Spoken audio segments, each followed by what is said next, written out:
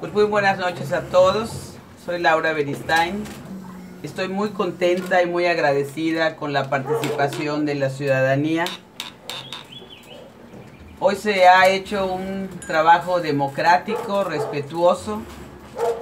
Agradezco a la gente que ha salido a emitir su voto, que es un ejercicio democrático importante.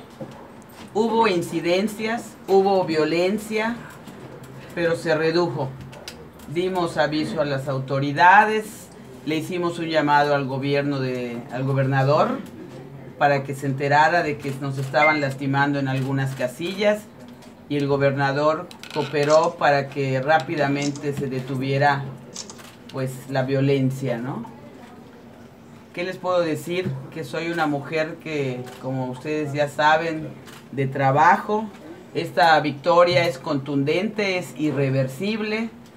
El tema que traemos nosotros son de más de 15 años trabajando por la izquierda.